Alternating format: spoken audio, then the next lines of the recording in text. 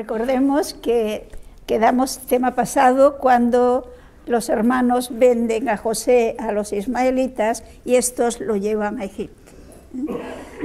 Vamos a ver ahora eh, que es muy interesante observar.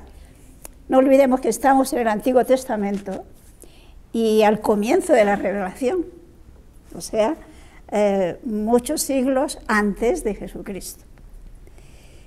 Por lo tanto, la revelación estaba en sus, en sus inicios, estamos en el Génesis.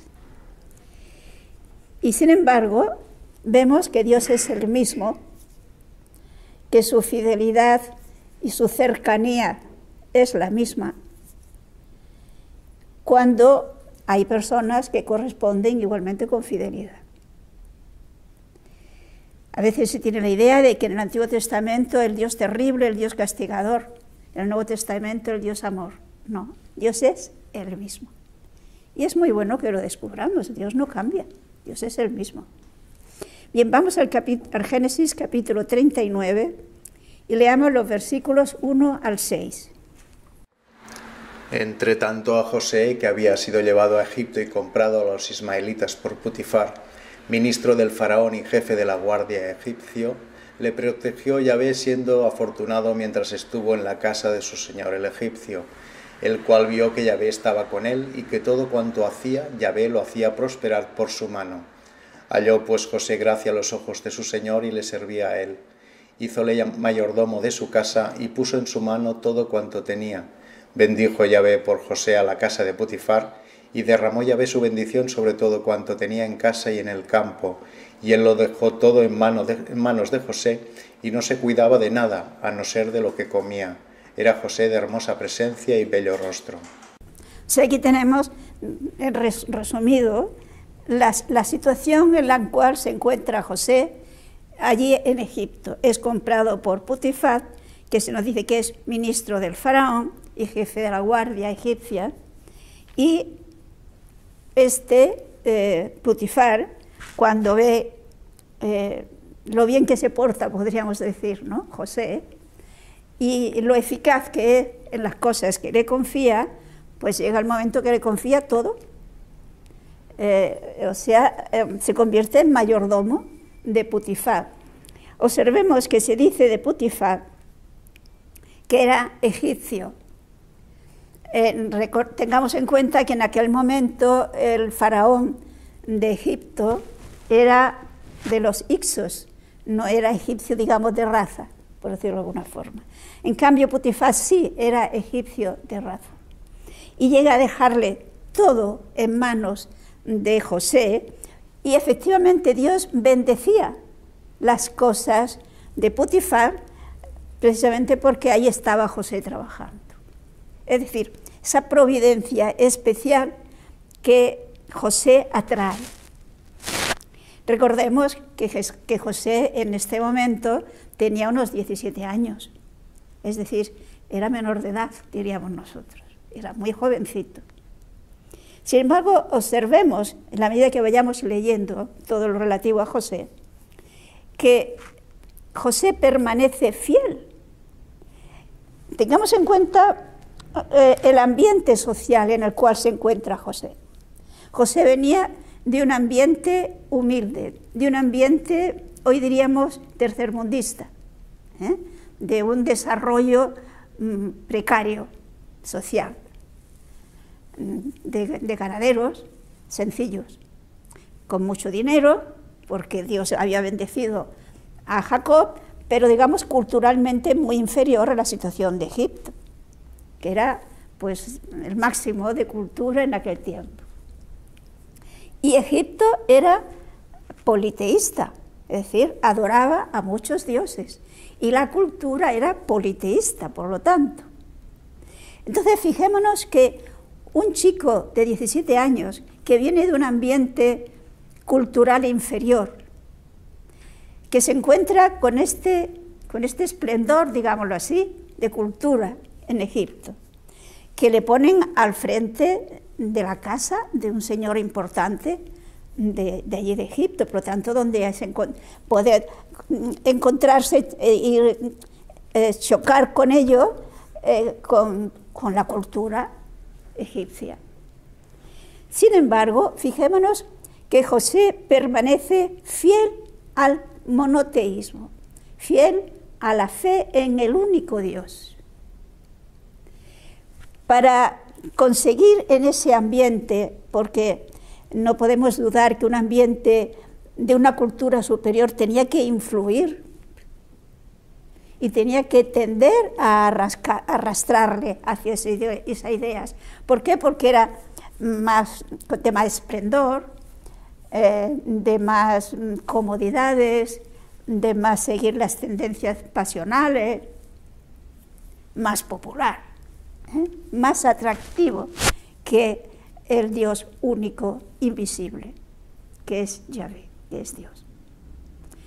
Los dioses de los egipcios eran imágenes, que eh, somos seres sensibles y lo sensible atrae. Sin embargo, José permanece fiel a Dios, fiel al monoteísmo. Y por lo tanto Dios bendice especialmente a José. Se nos ha dicho, por lo tanto, que de lo único que Putifar no le confió era la comida.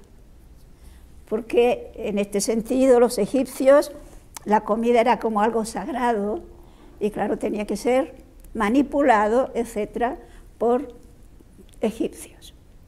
Pero fuera de esto, él era el que dirigía y organizaba todo lo de su casa y lo de su campo, nos ha dicho. Administrador, administrador de todos sus bienes. Y luego tiene otra cosa también José. Se nos dice que era un, un joven apuesto, era de bello rostro, es decir, era bien plantado.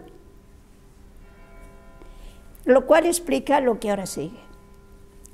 Vamos a continuar los versículos del 7 al 12. Sucedió después de todo esto que la mujer de su señor puso en él sus ojos y le dijo, acuéstate conmigo. Rehusó él diciendo a la mujer de su señor, cuanto mi señor no me pide cuentas de nada de la casa y ha puesto mi mano cuanto tiene, y no hay en esta casa nadie superior a mí, sin haberse reservado él nada fuera de ti, por ser su mujer. ¿Voy a hacer yo una cosa tan mala y a pecar contra Dios? Y como hablase ella a José un día y otro día, y ni la escuchase él, negándose a acostarse con ella y aún a estar con ella, un día que entró José en la casa para cumplir con su cargo y no había nadie en ella, le agarró por el manto diciendo, acuéstate conmigo, pero él dejando en su mano el manto huyó y se salió fuera. Bueno, fijémonos la tremenda prueba que tuvo que ser esto para José. La mujer de Putifar se enamora de José. No olvidemos que entonces no era extraño que un esclavo tuviera relaciones con, la señora. Es decir, que la señora se enamorara de un esclavo y que tuvieran relaciones. Y que esto, para, ¿cuál era el resultado? Pues que a este, a este esclavo le venía muy bien porque entonces subía de categoría y era mejor mirado. Y sin embargo, fijémonos, José, con su juventud, ¿Cómo ve claro, cómo tiene claro que faltar en ese sentido eh, de teniendo relaciones con la mujer de Putifar, por lo tanto era cometiendo una injusticia para con Putifar, ofende a Dios. Es decir, vemos esa fidelidad exquisita de José para con Dios. Y cómo ve que la ofensa a un ser humano, ofendiendo a un ser humano, se ofende a Dios. Y eso él de ninguna manera. Aun cuando esta mujer insiste un día y otro día y otro día. E incluso le quiere forzar, como vemos. Es el resiste. ¿Cómo es posible, situémonos en aquel contexto social, que José mantuviera esa firmeza? Fijémonos que eso solamente se explica si José realmente mantenía una relación constante con Dios. Si para José Dios no era algo, no era una costumbre, no era una idea, era alguien, alguien con quien se relacionaba, con quien mantenía digámoslo así, conversación.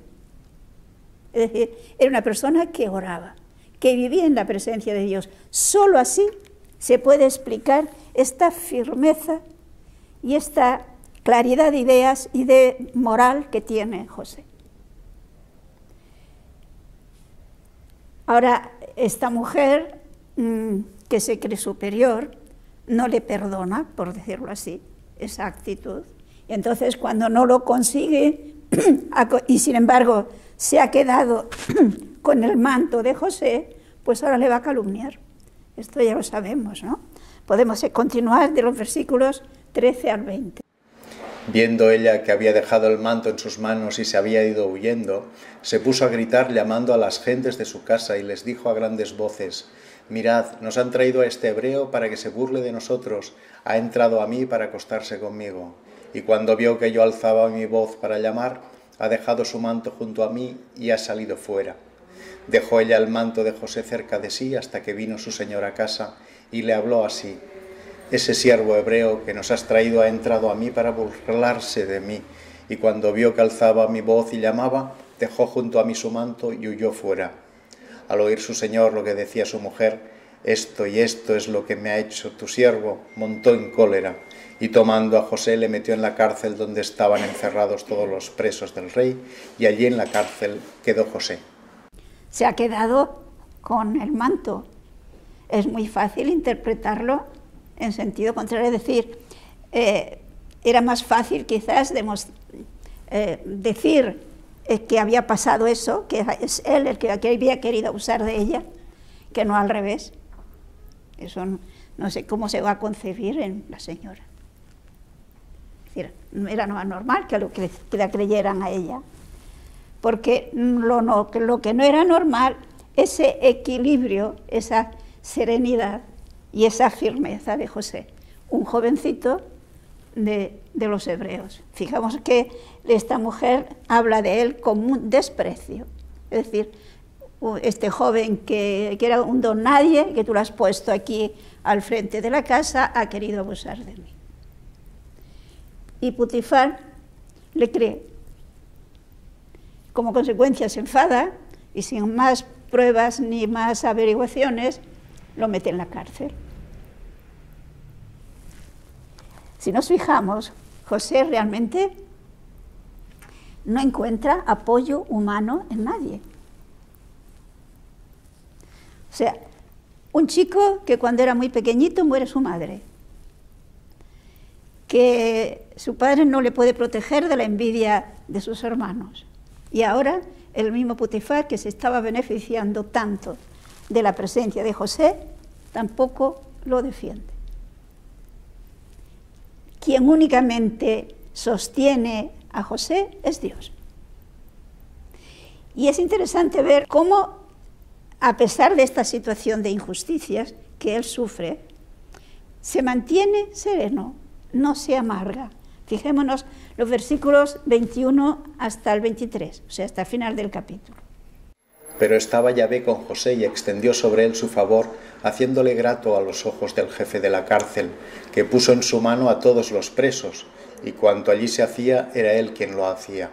De nada se cuidaba por sí el jefe de la cárcel, porque estaba Yahvé con José, y cuanto hacía éste, Dios lo llevaba a buen término. O sea, nos encontramos con que José en la cárcel igualmente mantiene este ánimo, digámoslo así, positivo de ayuda, de serenidad. Si hubiera estado amargado y protestando, ¿le habrían puesto ese puesto de confianza en la cárcel? No. Precisamente porque se mantenía con esa actitud serena, con esa actitud servicial, pues el jefe de la cárcel igualmente lo hace responsable de los demás presos. Y es, en este caso, por lo tanto, José el que se ocupa de sus compañeros de prisión, por decirlo de alguna manera.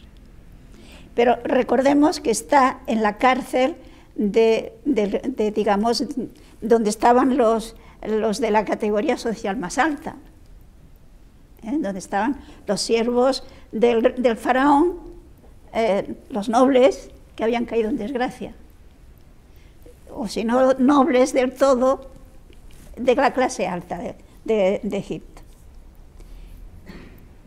Continuamos en el capítulo 40, versículos 1 al 4.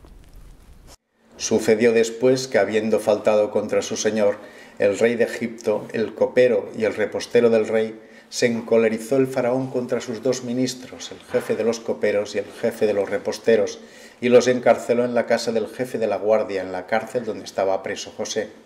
Púsolos el jefe de la guardia bajo la custodia de José, y éste le servía el tiempo que estuvieron en la cárcel. O sea, tenemos que dos empleados importantes del faraón han caído en desgracia. No se sabe qué es lo que habían hecho o de qué se le acusa. Quizás simplemente de negligencia en su servicio. O tal vez porque hubieran participado o sospechado que habían participado en algún proceso contra el faraón. El hecho es que los dos, el jefe de los panaderos y el jefe de los coperos, van a la cárcel donde está José. Y el responsable de la cárcel le se los confía a José. O sea, es José quien tiene que atenderlos. Podemos continuar de los versículos 5 al 8. El jefe de los coperos y el jefe de los reposteros del rey de Egipto, que estaban presos en la cárcel, tuvieron ambos un sueño la misma noche, cada uno el suyo y cada sueño de diversa significación. Cuando por la mañana vino a ellos José y los vio tristes, preguntó a los dos ministros que con él estaban presos en la casa de su señor, diciéndoles, ¿por qué tenéis hoy mala cara? Ellos le contestaron, hemos tenido un sueño y no hay quien lo interprete. Díjoles José, ¿no es de Dios la interpretación de los sueños? Contádmelo si queréis. Fijémonos otro detalle. José se da cuenta de que estos dos hombres aquella mañana están muy tristes. Esto que indica, y se interesa por ellos, ¿qué os pasa? ¿Eh? Vemos esa actitud amable de querer ayudar al que está triste, una actitud servicial, se interesa por ellos. Eh, no sencillamente pasa. Y estos dos encuentran confianza en José para contarle ese sueño que han tenido cada uno el suyo aquella noche y que les tiene inquieto. Eh, no olvidemos que entre los egipcios se le daba mucha importancia a los sueños.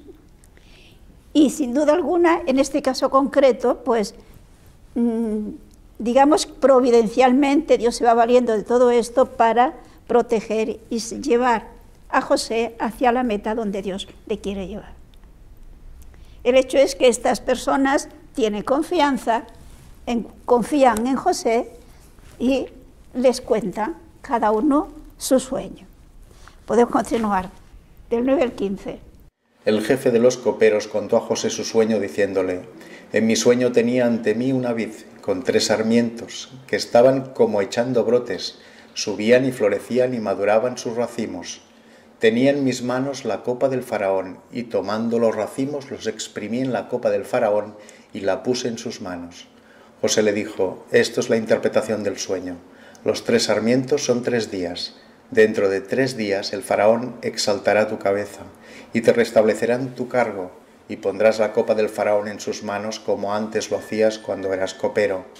A ver si te acuerdas de mí cuando te vaya bien y me haces la gracia de recordarme al faraón para que me saque de esta casa. Pues he sido furtivamente sacado de la tierra de los hebreos y aún aquí nada he hecho para que me metieran en prisión. Si se fijaron en lo que leíamos anteriores, ya José les dice que la interpretación de los sueños depende de Dios. Es decir, él eh, está convencido de que si puede interpretarles el significado de sus sueños, será porque Dios le, se lo dé a entender, porque Dios le ilumine, que no es de él. ¿eh? ese espíritu de humildad y al mismo tiempo de confianza en Dios. Decídmelo, porque a lo mejor te podríamos decir, a lo mejor lo puedo interpretar, a lo mejor puedo decir qué significa esos sueños que habéis tenido. Si Dios me lo, si Dios me lo da, si Dios me lo inspira. Es decir, observemos cómo al mismo tiempo que tiene esa confianza en Dios, tiene una gran humildad para reconocer que si lo puede interpretar será de Dios. Entonces, ante esta actitud suya vemos que el, jefe de los, coperos pues le explica su sueño. Y realmente Dios ilumina a José para que se lo interprete. ¿Eh? Son tres, tres, ramos de uva, digamos, que crecen, tres vidas, tres vidas, ¿no? que crecen que salen las uvas, que exprime estas uvas y que le exprime las copas del faraón y que él se las servía al faraón. Entonces se lo interpreta, esos tres racimos son tres días. Pasados esos tres días, pues el faraón se acordará de ti y te volverá a reponer en tu puesto. Y fijémonos la petición de, José. Cuando te hayan repuesto, acuérdate de mí.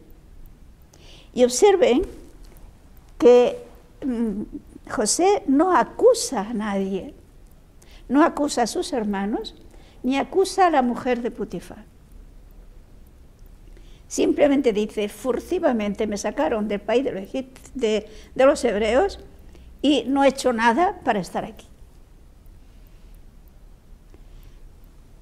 No deja de ser interesante fijarse en estos detalles.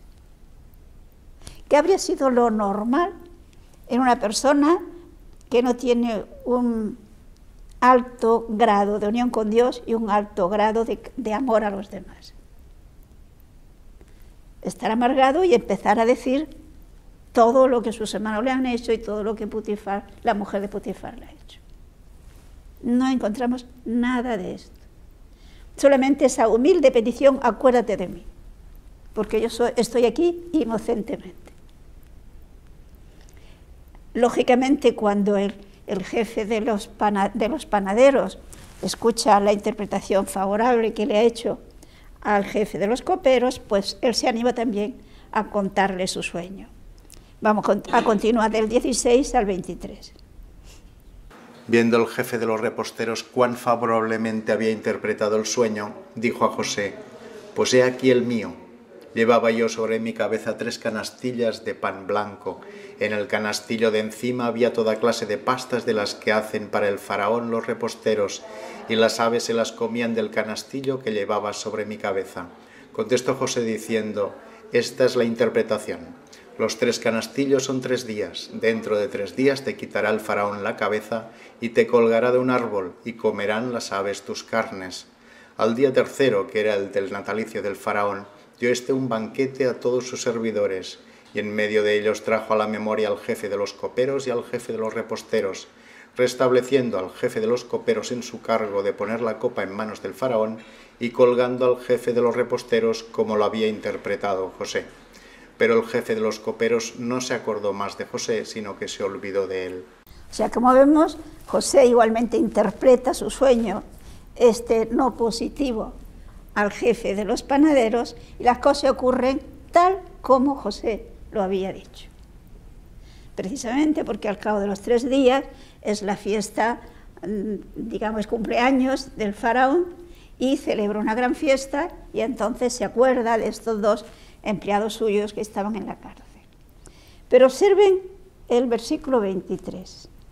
Cuando el jefe de los coperos ya se restableció y las cosas le iban bien, se olvidó de José. Qué fácil es olvidarse de los que sufren cuando las cosas nos van bien. Generalmente, ¿quién es quien se acuerda más de una persona que sufre? Alguien que está sufriendo. En el Evangelio lo tenemos, por ejemplo, en el rico y pulón y el pobre Lázaro. Está en su opulencia, y no se acuerda, no mira, no se presta atención de que tiene allí a su, a, su puerta una persona que está pasando una gran necesidad. Pues José, una vez más, víctima de la mala memoria, digámoslo así, pongamos entre comillas, sigue dos años más en la cárcel. Vamos pues al capítulo 41 Y vamos a leer solamente el versículo 1. Al cabo de dos años soñó el faraón que estaba a orillas del río. Recordemos el río Nilo, ¿eh? que atraviesa Egipto. Pero pasan dos años y José sigue en la cárcel. Podríamos preguntarnos, ¿y por qué Dios permite todo esto? Fíjense que eh, hay aquella frase de San Agustín que dice que Dios no permitiría el mal si no fuera lo suficientemente poderoso que pudiera, inteligente que supiera y bueno que quisiera sacar de ese mal un bien mayor. De hecho, fijémonos que todos estos años que, José pasa entre sus años de esclavitud en casa de Putifar y los años de cárcel, Dios lo ha estado preparando para la misión que le va a confiar.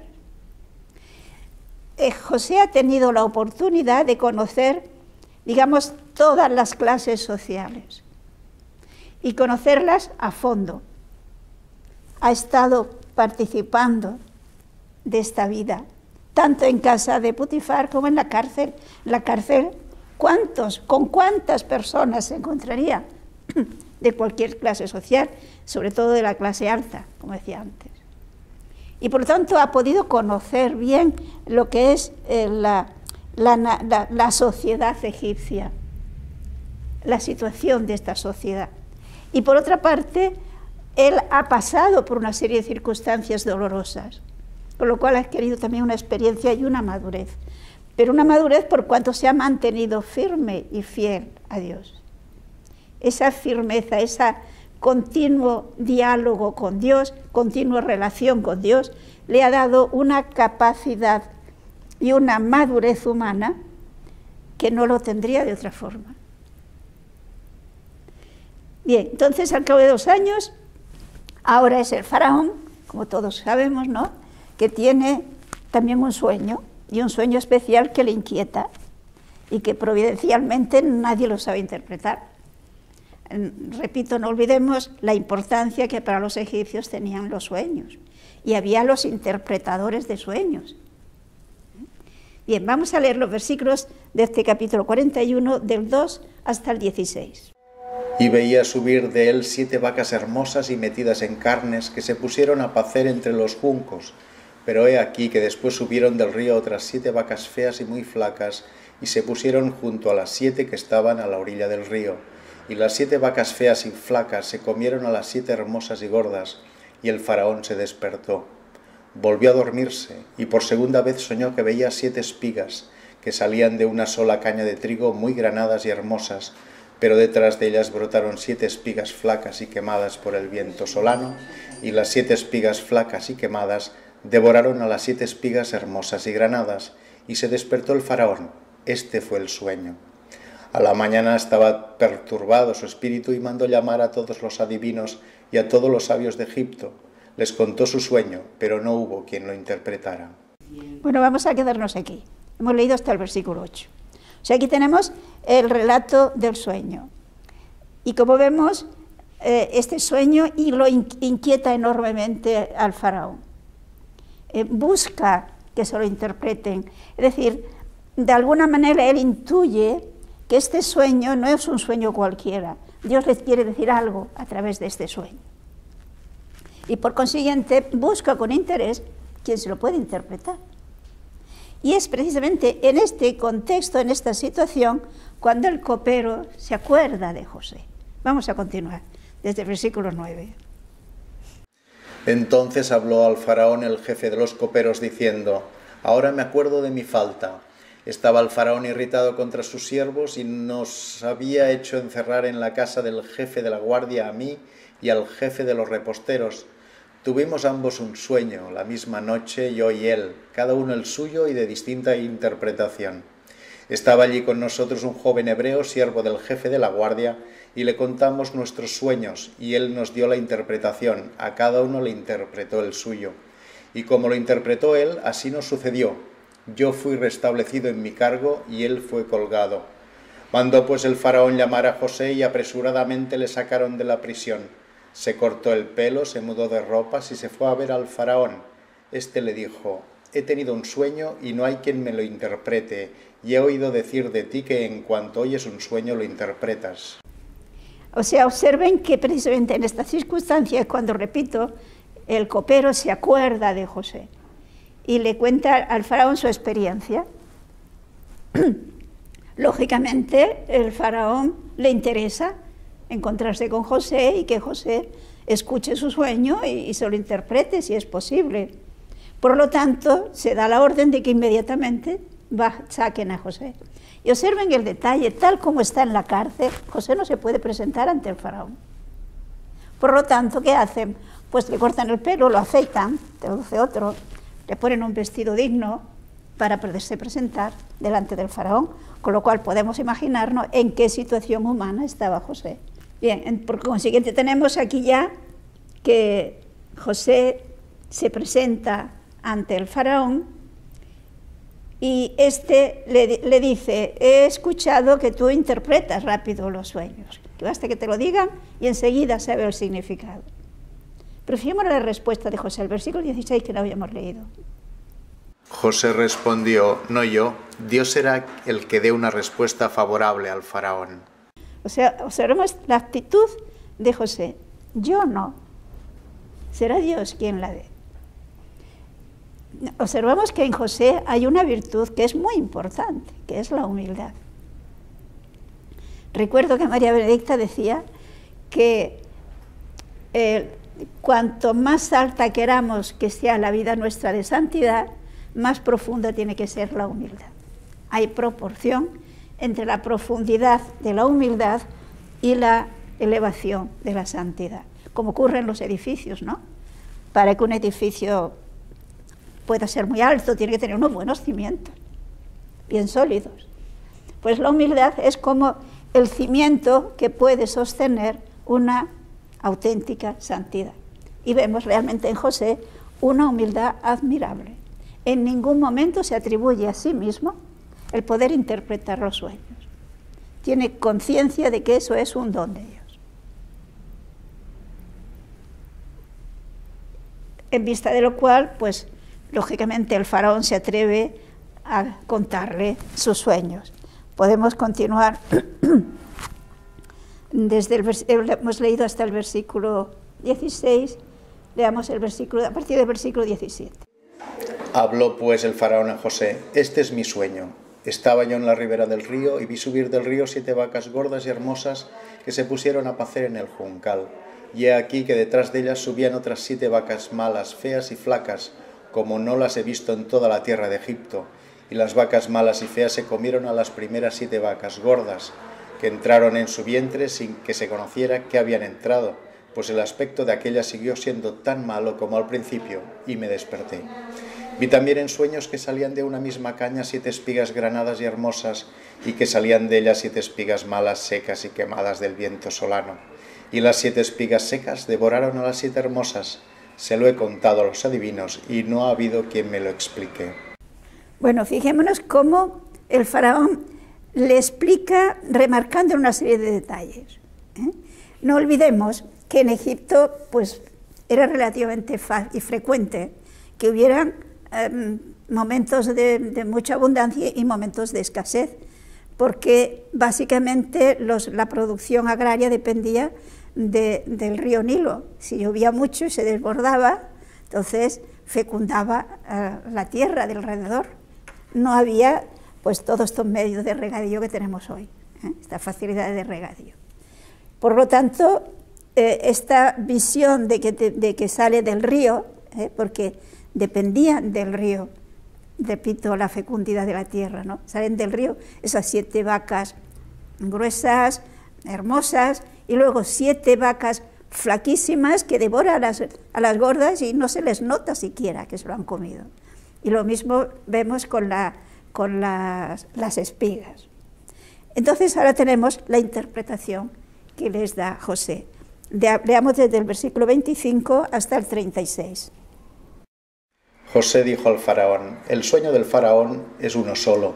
Dios ha dado a conocer al faraón lo que va a hacer.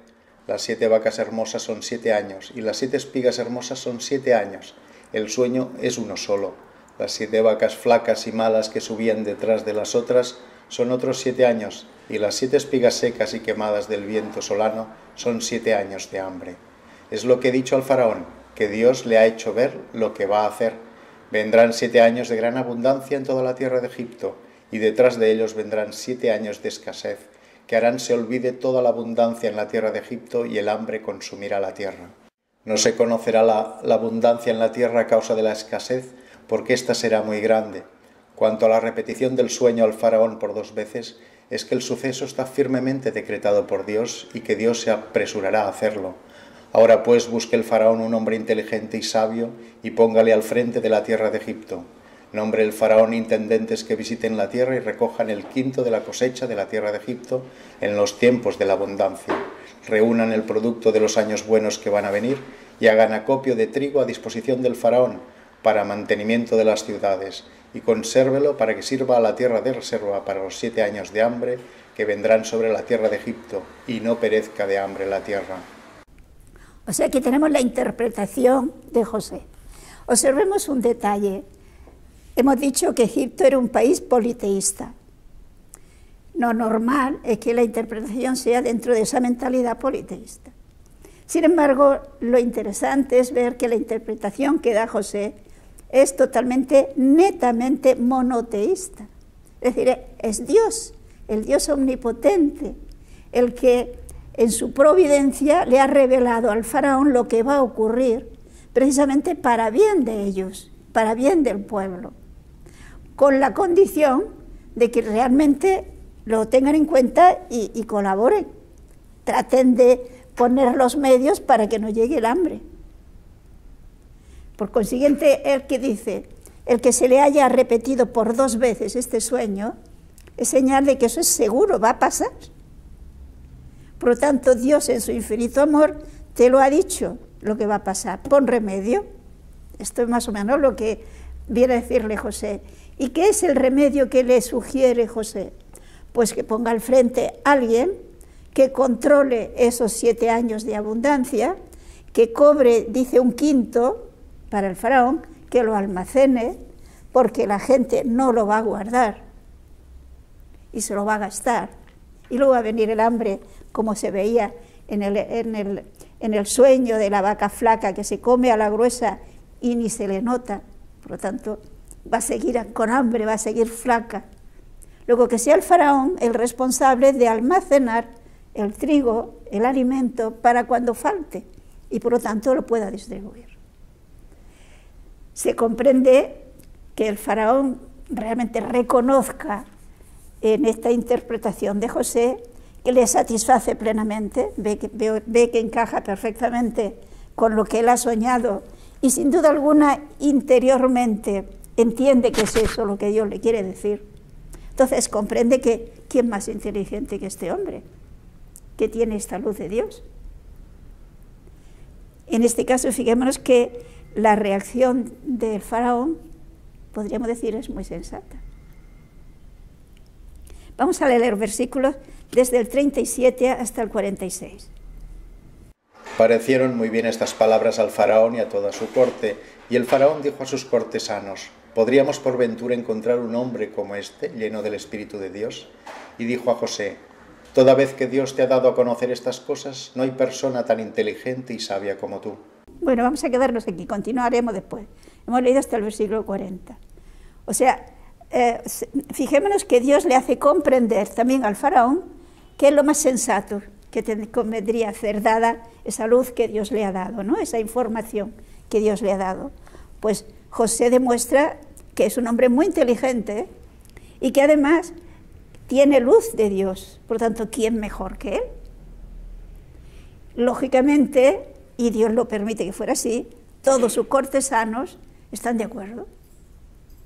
Luego, enseguida, el faraón pasa a la, obra y tenemos que eh, a José lo pone al frente de, toda, eh, de, todo, de todo el país. Es decir, únicamente será superior a él el faraón, pero el segundo será José. Por lo tanto, fijémonos, un joven, un hebreo de una cultura tan inferior, que ha, estado, que ha sido esclavo, que ha sido estado preso, de la cárcel a primer ministro del país. ¿Qué sería lo normal que pasara cuando a alguien le ocurre una cosa así? ¿Cuál es la reacción normal que suele ocurrir? Pues que este señor sería de una soberbia impresionante. No sé si lo vemos claro.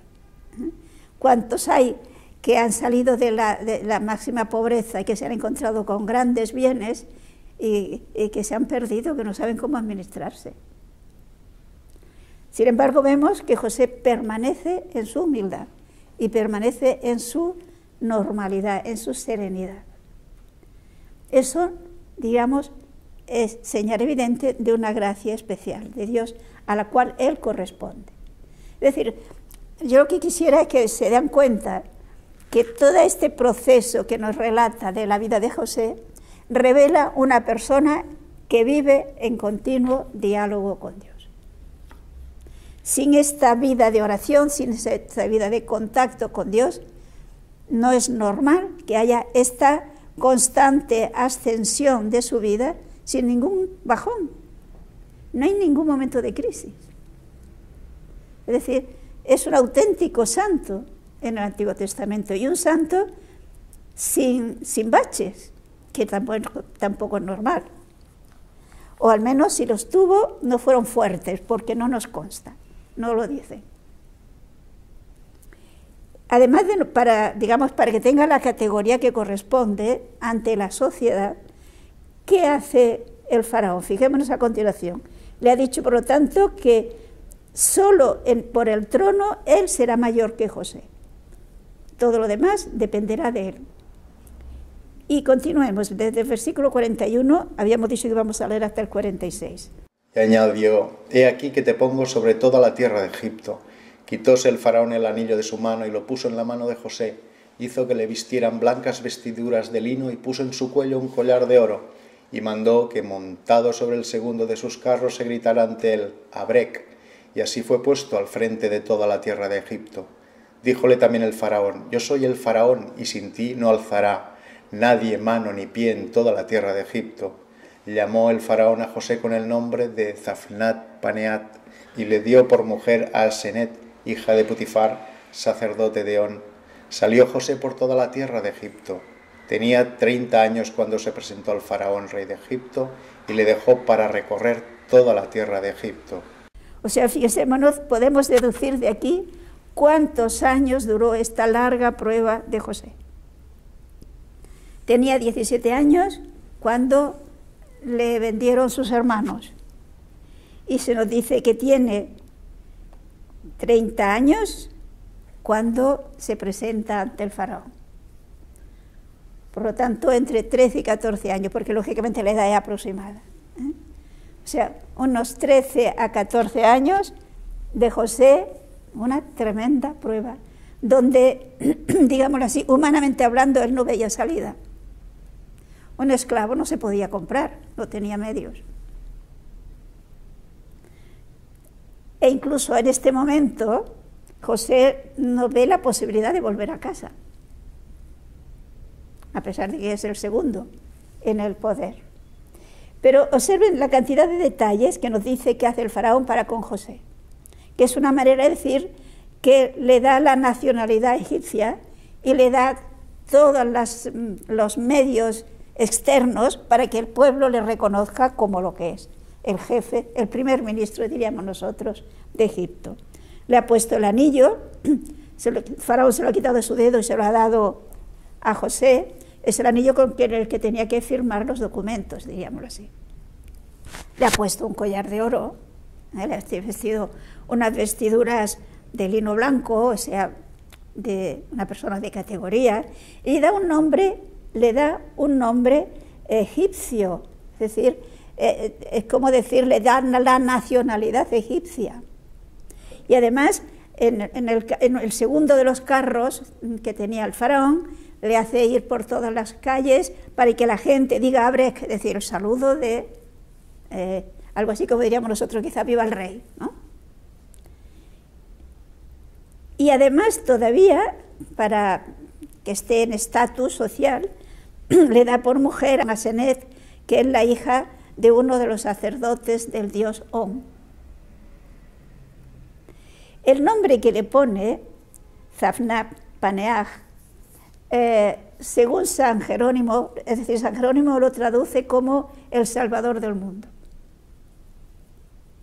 Eh, es el nombre que indica, pues realmente se espera de él que ayude a salvar el mundo del hambre.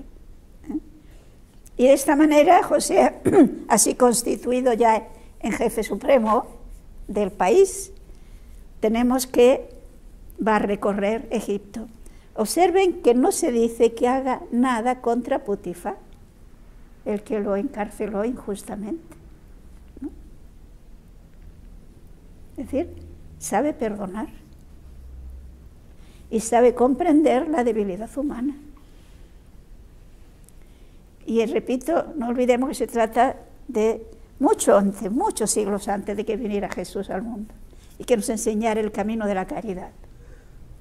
Con lo cual nos indica que en la medida que una persona, yo diría, aunque no sea cristiano, una persona que, que dialoga con Dios, que entra en contacto con Dios, que va conociendo a Dios, esa persona se distingue por el amor y se distingue por la humildad. Es la prueba de ese contacto con Dios.